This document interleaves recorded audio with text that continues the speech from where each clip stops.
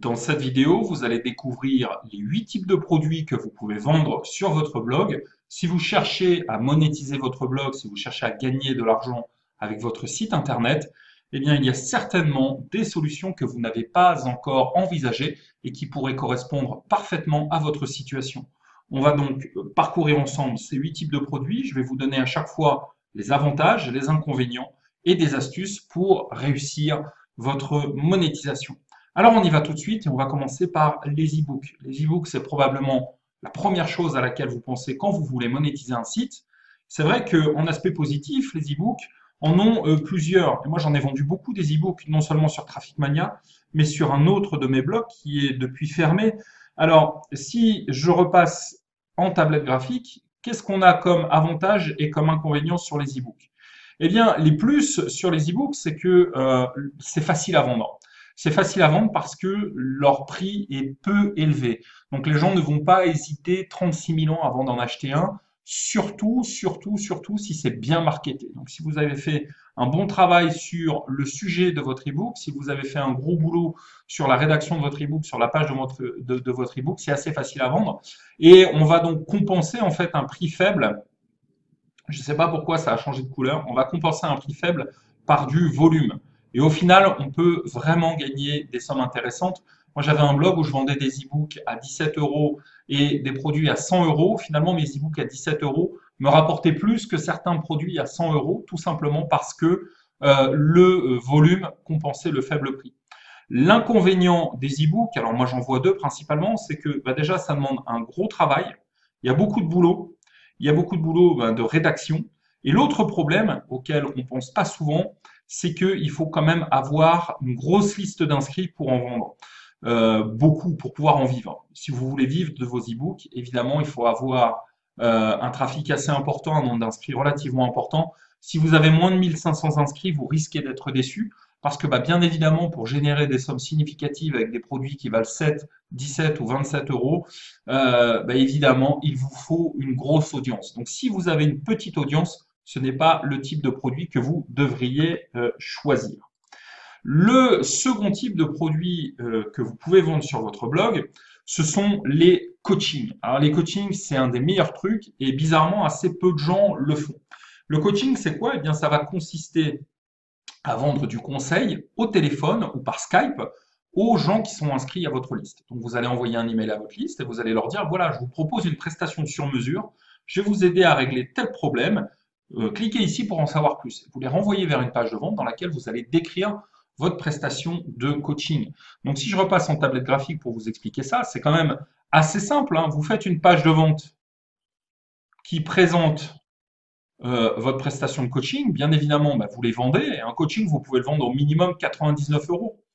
Et, euh, et, bah, derrière, vous allez effectuer votre prestation de coaching par Skype ou par téléphone. Donc vous convenez d'un rendez-vous avec, euh, avec, votre, avec votre client et vous allez le conseiller. Alors, c'est franchement un des meilleurs trucs à faire quand on commence en blogging. Alors, le plus, c'est vraiment parfait pour commencer sa monétisation. Pourquoi? Parce qu'il suffit d'avoir un, petit trafic pour pouvoir en vivre. Si vous avez 1000 inscrits, c'est quand même pas énorme 1000 inscrits, et que vous vendez des, des coachings à 99 euros, c'est très facile de vendre 10, 12 coachings tous les mois et de dégager, on va dire, 1000, 1200 euros tous les mois. si vous voudriez vendre des e-books à 7 ou 17 euros, vous ne pourriez pas atteindre ce genre de score avec ce genre de trafic. Donc c'est parfait pour démarrer une monétisation. Autre point positif, ça vous pose, en tant qu'expert, ça vous donne de la crédibilité. Vous allez devenir la personne experte dans votre thématique parce que vous allez être la personne qui échange en vrai avec son audience. Autre point positif, il n'y a pas de produit à créer. Vous êtes dans le sur-mesure. Donc, quand on crée un produit, il y a toujours le risque qu'on tape à côté, qu'on fasse un produit qui n'est pas celui que l'audience attend. Quand on fait du coaching, c'est différent. Les gens vont vous dire, voilà, j'ai tel problème dans cette thématique. Est-ce que tu peux m'aider à le résoudre? Et vous, vous allez donc créer une solution sur mesure. Donc, c'est facile aussi à reproduire. pas de produit à créer, facile à vendre, facile à reproduire mois après mois. Le côté négatif du coaching, euh, alors il y en a assez peu. Pour moi, le côté négatif du coaching, c'est que ça fait un petit peu peur. Il y a beaucoup de gens qui n'osent pas se lancer en coaching et c'est bien dommage parce que c'est vraiment l'idéal pour monétiser un blog. Pour vous donner envie d'y arriver euh, et de vous lancer en coaching, sachez que moi sur Traffic Mania, au début du blog, pendant les 18 premiers mois du blog, je n'ai vendu que du coaching et je dégageais sans problème plusieurs milliers d'euros tous les mois parce que mes coachings, je les ai commencés à 99 euros, puis je les ai passés à 199, puis 299, etc., etc. Et aujourd'hui, mes coachings sont vendus 499 euros. Donc, c'est un moyen très simple de dégager des revenus importants. Il ne faut pas avoir peur de vous lancer dans ça. N'écoutez pas ceux qui vous disent qu'il ne faut pas vendre votre temps. Quand vous êtes au démarrage, c'est probablement un des meilleurs moyens de vous imposer dans votre thématique. Alors, on a vu déjà deux façons de monétiser un blog. Je vais repasser en plein écran et je vais vous présenter la troisième façon qui est les produits physiques. Alors les produits physiques, c'est quelque chose que vous pouvez vendre soit par vous-même, si vous avez un stock de produits, ou soit en dropshipment. Il y a une vraie mode en ce moment, on a vu beaucoup de gens qui lançaient des formations sur le euh. Alors, euh, les produits physiques, c'est euh, un bon moyen de gagner de l'argent sur Internet, mais c'est probablement pas celui que je vais recommander aux blogueurs. Je vais rentrer un petit peu dans les détails, je vais vous expliquer pourquoi. Alors, je vais repasser en tablette graphique et je vous montre ça. Donc, les produits physiques. Les produits physiques, donc, vous pouvez les vendre euh, soit à partir de votre propre stock, c'est-à-dire que chez vous, vous allez avoir, euh, je ne sais pas, admettons que vous soyez euh, niché dans une thématique, je ne sais pas, moi, vous vendez des accessoires, vous vendez des ceintures. Vous vendez des ceintures en cuir. vous avez un stock de ceintures, vous avez un blog qui présente vos produits, vous avez une boutique en ligne. Alors, pourquoi est-ce que c'est compliqué finalement et que ce n'est pas ce que je vous recommande? Euh, bah Parce qu'il y a beaucoup de points négatifs. Il y a déjà le problème de gestion de stock. Il y a le problème de gestion de stock, c'est-à-dire qu'il va falloir faire fabriquer vos ceintures ou les acheter. Il va falloir euh, ensuite les vendre. Et qu'est-ce qui se passe si vous, avez acheté un stock que vous n'arrivez pas à vendre Vous allez vous retrouver avec de la marchandise sous les bras. Donc, il y a le côté gestion de stock, prévision de vente, hein, qui est difficile. Il y a aussi tout le côté logistique, puisque à chaque vente, il va falloir emballer vos colis, les expédier, euh, il va falloir négocier des tarifs peut-être avec un prestataire de transport, avec Chronopost, avec UPS, euh, peu importe. et il va aussi falloir bah, gérer tout le flux de retour, puisque bah, les gens ont 14 jours hein, lorsqu'ils achètent en ligne pour envoyer un article en stock. Donc ça demande quand même un gros boulot. le plus, quand même, parce qu'il y en a dans la, vente de produits physiques, c'est que bah, vous pouvez vous différencier facilement. Si vous voulez vendre des euh, ceintures en cuir, vous pouvez partir sur un modèle un peu unique euh, qui va euh, être juste disponible chez vous et que vos concurrents ne vendront pas, que vous pourrez comme ça proposer facilement à, à des gens qui sont intéressés par des produits qui sont très très nichés. Ne partez pas sur des choses que font déjà les gros, sinon vous n'allez jamais réussir à vous imposer. Il vaut mieux être euh, vraiment très niché. Alors j'en sais rien, par exemple, si vous voulez vendre des chaussures, il vaut mieux partir sur la vente de chaussures de clown que euh, sur des baskets, parce qu'évidemment, sinon vous allez vous frotter euh, à des monstres comme Sarenza, comme Zalando, etc. et vous n'allez jamais y arriver. Donc pensez niche. Alors, il y a une deuxième catégorie dans les produits physiques, c'est ce qu'on voit un peu partout, qui est le dropship. Alors le dropship, ça consiste en fait à trouver des produits sur des sites, donc des produits souvent peu chers, sur des sites genre euh, Alibaba, par exemple, et euh, vous allez les vendre sur votre blog, mais finalement, vous n'allez pas vous occuper de la partie logistique.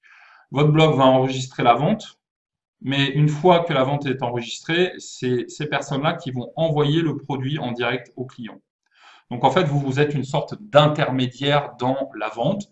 Alors c'est quelque chose qui fonctionne, euh, ce qui est difficile, c'est de trouver euh, des produits qui soient qualitatifs et sur lesquels vous faites de la marge.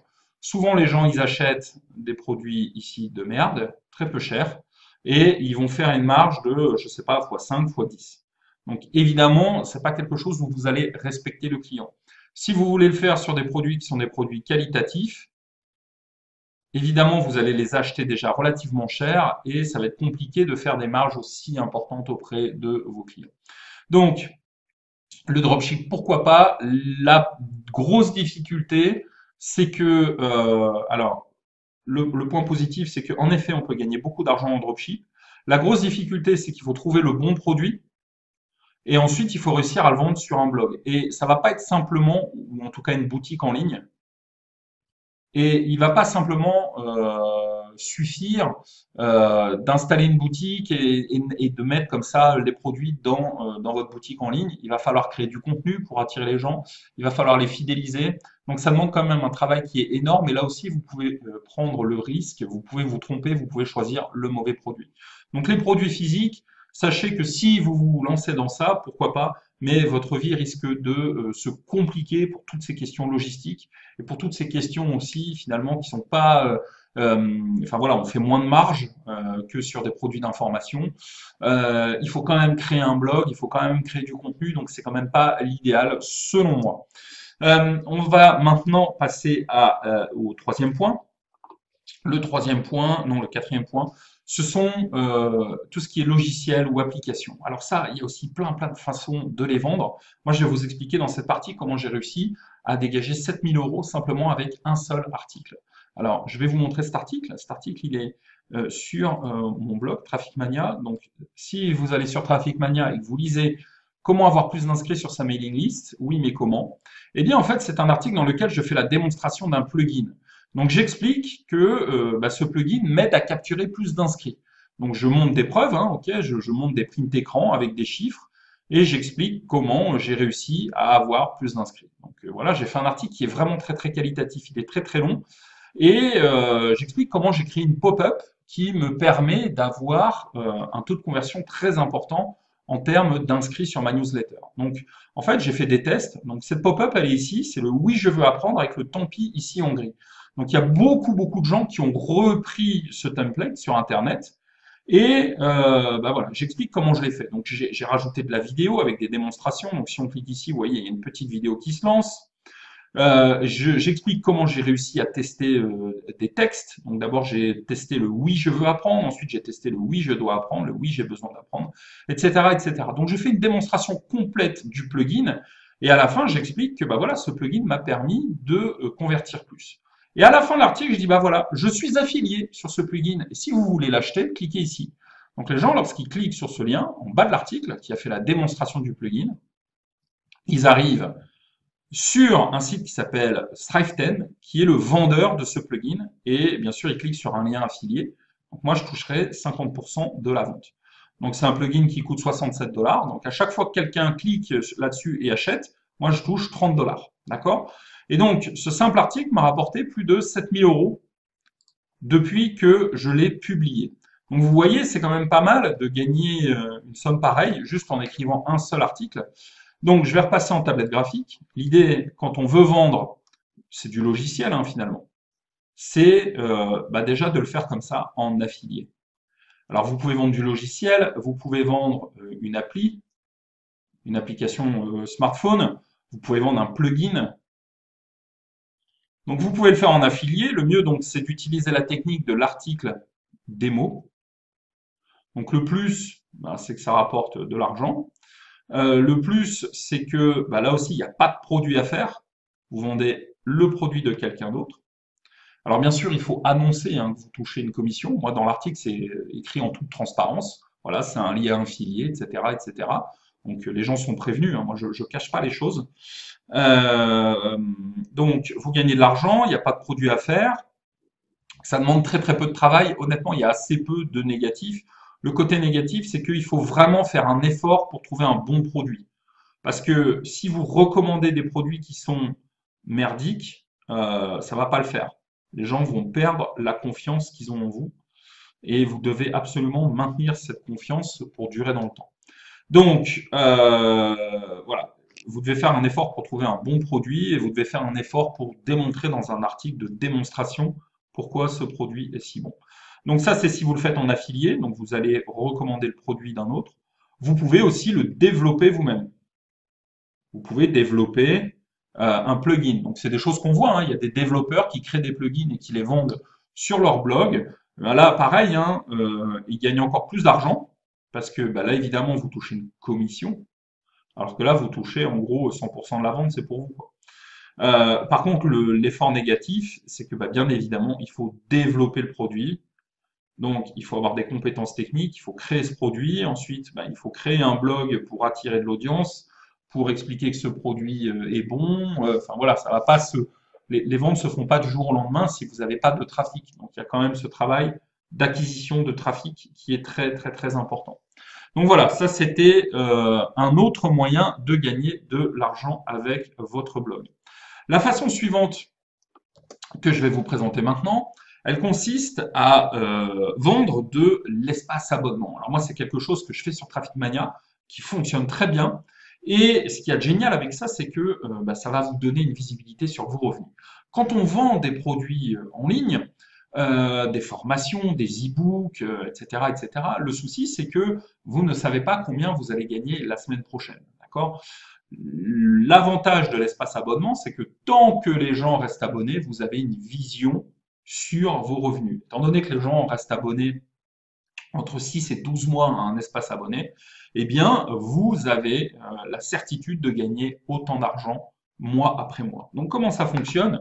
Eh Bien, c'est tout simple il va falloir que vous créiez une sorte de bibliothèque de contenu. L'idée, c'est de faire comme Netflix. Hein. Qu'est-ce qui fait Netflix? Ben, Ils ont une bibliothèque de films et de séries. Voilà, ils ont une bibliothèque de films et de séries. Et tant que vous êtes abonné, vous avez accès à 100% du contenu. Puis le jour où vous voulez arrêter l'abonnement, ben, vous n'avez plus accès. Ben là, c'est la même chose. Il va falloir créer 10, 20, 30 formations et euh, en rajouter régulièrement. Il va falloir en rajouter une 31e puis une 32e, etc., etc. Et les gens, tant qu'ils sont abonnés, eh ils ont accès à 100% de euh, cet espace. Euh, donc, l'avantage, évidemment, c'est que ça rapporte beaucoup d'argent, ça rapporte beaucoup d'euros. L'autre avantage, c'est que ça vous donne des revenus qui sont beaucoup plus stables, une vraie vision sur vos revenus. L'inconvénient, c'est que ça demande quand même un travail de suivi administratif puisque vous avez des gens qui demandent à se désinscrire, donc il faut vérifier qu'ils ont pu accès. Euh, il faut euh, les mettre dans une newsletter particulière, parce que moi, je euh, segmente les gens qui sont inscrits, les gens qui ont été inscrits, les gens qui ne sont pas inscrits, pour pouvoir leur envoyer des emails différenciés. Donc, il y a quand même du travail administratif, donc les plus, les euros, les revenus stables, le moins, le travail administratif et le travail de création perpétuelle. Voilà, vous ne pouvez pas vous reposer sur vos lauriers parce qu'évidemment, si vous rajoutez pas de contenu régulièrement, les gens se désabonnent. Mais c'est vraiment un truc super. Alors, euh, pour le mettre en place, euh, il, existe des plugins. Moi, ce que je vous conseille, c'est d'utiliser des systèmes de gestion de vente pour pas vous emmerder avec les plugins. Aujourd'hui, vous avez des systèmes comme Cuneo ou LearnyBox qui permettent de euh, faire des espaces abonnés sans la moindre difficulté. Donc voilà, c'est des systèmes qui vont gérer toute la partie vente, c'est des systèmes qui vont gérer la facturation, c'est des systèmes qui vont envoyer les liens de téléchargement, mais ce sont également des systèmes qui maintenant permettent de gérer de l'affiliation et les espaces abonnés. Donc, euh, je vous conseille fortement d'utiliser ce genre de euh, service. Ce que je voulais vous montrer maintenant, alors c'est un truc que, oula, qu'est-ce que j'ai fait? Annuler. C'est un truc que vous connaissez peut-être pas forcément, c'est ce qu'on appelle les mini-documents. Les mini-documents, ça peut marcher très bien dans certaines thématiques qui sont réputées difficiles à monétiser. Je prends un exemple tout simple. Si vous avez un blog sur la cuisine, c'est compliqué de gagner votre vie avec un blog sur la cuisine. Pourquoi? À cause de Marmiton. Sur Marmiton, vous avez des milliers de, recettes de cuisine qui sont disponibles gratuitement. Donc, comment est-ce que vous pouvez faire pour gagner votre vie? Vous n'allez pas créer euh, euh, des formations sur le sujet, etc. Vous pourriez créer une formation destinée aux restaurateurs, mais à ce moment-là, on a un blog qui est destiné à l'entrepreneuriat, puis un blog destiné à la cuisine. Donc, si vous voulez euh, vendre euh, sur ce genre de thématique, pareil sur la beauté, la beauté, c'est pas facile à monétiser, ça génère des trafics qui sont importants, mais c'est compliqué de gagner sa vie. Eh bien, les mini-documents sont un excellent moyen d'y arriver. Alors, c'est quoi les mini-documents? Eh bien, ça peut être par exemple une recette. Ça peut être un conseil beauté. Ça peut être euh, une checklist à imprimer, à télécharger et imprimer. Ça peut être euh, un planning. Je ne sais pas, moi, si vous avez, euh, par exemple, un blog sur la cuisine et euh, que vous voulez vendre des conseils minceurs, eh bien, vous allez vendre comme ça le planning des recettes minceurs à télécharger. Et donc, ce sont des petites choses que vous allez vendre à un prix modique qui va aller de 1 euro à 7 euros. Je ne sais pas, moi, si vous êtes dans le modélisme, vous allez vendre un plan. Si vous êtes dans euh, le do-it-yourself, pareil, vous allez vendre une procédure, un plan, que vous allez vendre à un prix très très modique. Donc, le principe est le même que les formations, hein. c'est-à-dire qu'au lieu de vendre un produit qui va valoir 100, 200 ou 300 euros, eh bien là, vous allez vendre une rafale de petits conseils. Donc, le, principe est toujours le même, hein. les gens vont s'inscrire à votre blog, ils vont s'inscrire à votre newsletter, et une fois qu'ils sont inscrits à votre newsletter, vous allez leur faire des offres, sauf que là, vous allez leur faire des offres sur des produits qui sont économiques, qui sont simples et qui vont les aider. Et évidemment, euh, plus le prix est faible, plus ce qu'on appelle la barrière à l'entrée est faible, moins les gens vont hésiter à acheter le produit et plus ce sera facile de leur vendre. Donc vous pouvez penser aux mini-documents. le point suivant, c'est une variante des mini-documents, ce sont les mini-abonnements. Les mini-abonnements, c'est quelque chose qu'on voit régulièrement, beaucoup par exemple sur les sites de news. Alors je ne sais pas, par exemple, si vous voulez vous abonner à Mediapart, eh bien, vous allez payer une dizaine d'euros par mois, je crois. Et en échange de cette dizaine d'euros par mois, vous allez avoir accès à des articles euh, renouvelés régulièrement.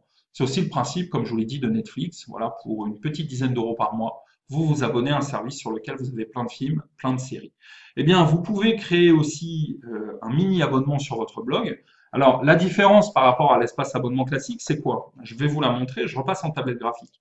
L'espace abonnement classique, on a dit que vous alliez créer une espèce de bibliothèque de contenu avec euh, plusieurs dizaines de formations et les gens allaient avoir accès à toutes ces formations. Là, l'idée, c'est autre chose. L'idée, c'est d'utiliser les emails. L'idée, c'est d'utiliser les emails. Et donc, quand vous utilisez les emails, qu'est-ce qui va se passer? Eh bien, il suffit simplement de lier votre système de vente à une liste de votre autorépondeur. Et vous allez dire aux gens, bah voilà, je vais vous donner des informations exclusives pour un prix modique. Donc, pour 2 euros par mois, vous allez avoir droit à un conseil par jour.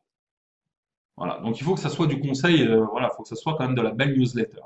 Un conseil par jour. Et donc, qu'est-ce qui se passe? Les gens, donc, ils arrivent sur une, ils sont inscrits à votre blog, vous les envoyez vers une page de vente. Cette page de vente présente votre offre et vous avez le bouton de commande. Quand les gens commandent, ils arrivent sur votre prestataire de paiement, on est d'accord? Donc, ils vont arriver sur un formulaire dans lequel ils vont mettre leur nom, leur adresse, etc. Donc ça, vous pouvez le faire encore une fois avec Cuneo ou LearnyBox. Moi, j'utilise Cuneo. Donc les gens là, ils vont rentrer leurs coordonnées et puis ensuite ils arrivent, on est d'accord, sur la page de paiement. Paiement, donc ça va être du PayPal ou euh, Stripe, par exemple. D'accord? Eh bien, il est très facile, je vais changer de couleur, d'interfacer ça avec votre autorépondeur. C'est-à-dire qu'une fois que les gens vont devenir clients, ils vont être dans une liste particulière sur votre autorépondeur. Donc ça, ça va vous permettre d'envoyer des conseils journaliers uniquement à vos clients. Donc vous pouvez vendre cette espèce de mini abonnement euh, à des gens qui veulent recevoir des conseils de façon journalière. Donc les aspects positifs, bah, c'est que là aussi, bah, c'est facile à vendre avec un prix qui est modique. Les aspects négatifs, c'est que ça demande un, gros travail continu de création de contenu. ok? Mais ça peut être un bon moyen. Vous devriez tester ça si vous êtes dans une thématique qui est réputée difficile à monétiser. Quand c'est compliqué à monétiser, il vaut mieux partir sur des produits qui sont très très peu chers. Parce que vous aurez toujours une partie des gens qui sont prêts à les acheter. D'accord? Ok. Donc on a vu les mini-documents, les mini-abonnements. On va voir maintenant le dernier euh, produit que vous pouvez vendre sur votre blog. C'est le grand classique, ce sont les formations. Alors les formations, bien sûr, vous pouvez créer, vos formations, vos formations, ou vous pouvez vendre les formations des autres en étant affilié et en touchant une commission. Ça, c'est pas un souci. Donc, ça va être le même principe que ce que je vous ai dit tout à l'heure pour le plugin, sauf qu'au lieu de vendre un plugin, un logiciel, une application, vous allez vendre une formation créée par quelqu'un d'autre et en échange, vous allez toucher une com. Le mieux, c'est de vendre vos formations. Donc, c'est ce qui est mieux. ok? Donc, euh, les aspects positifs, ben, c'est qu'on gagne beaucoup d'argent. Parce que les formations, vous pouvez les vendre, on va dire, entre 30 et 1000 euros. Donc, ça laisse quand même un scope de prix qui est très, très large. Il y a même des formations bien plus chères, mais on va dire qu'en gros, le gros des formations va tourner entre 100 et 200 euros.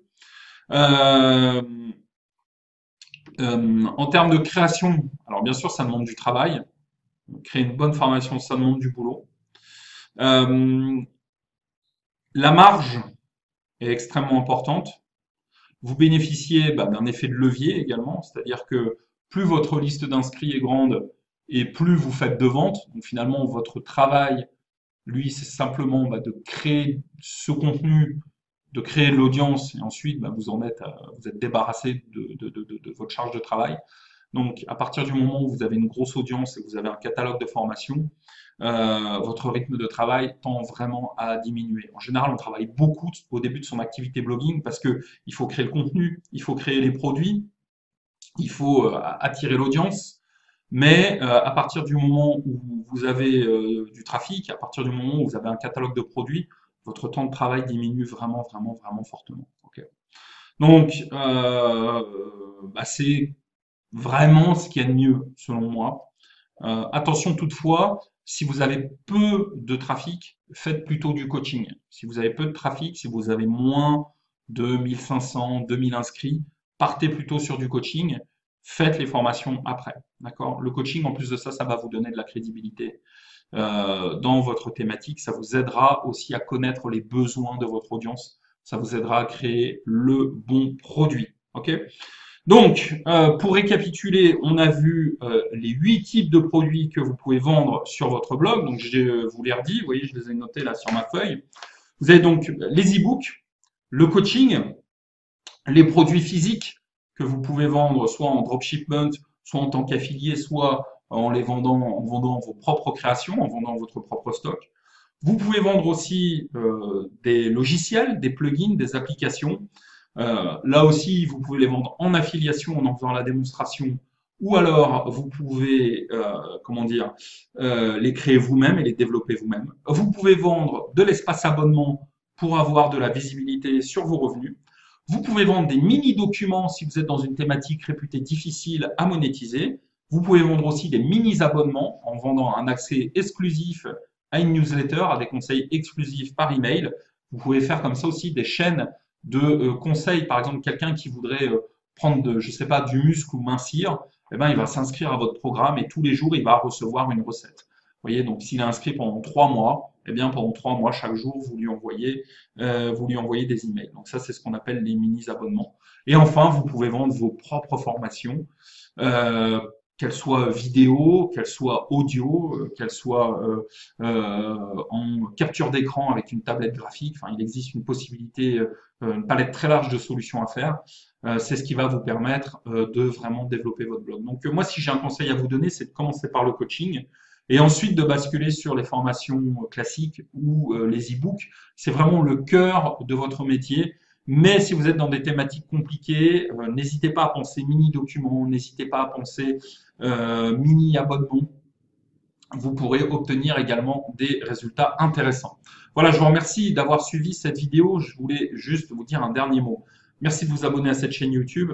Merci également euh, d'aller jeter un coup d'œil sur mon blog trafficmania.com parce que euh, c'est là que je donne le maximum de conseils. Le maximum de conseils n'est pas donné sur cette chaîne YouTube, il est donné sur mon blog. Donc allez-y, Inscrivez-vous également sur le blog parce que vous pouvez recevoir une formation trafic gratuite d'une heure. Voilà, merci et à très bientôt sur Traffic Mania. Ciao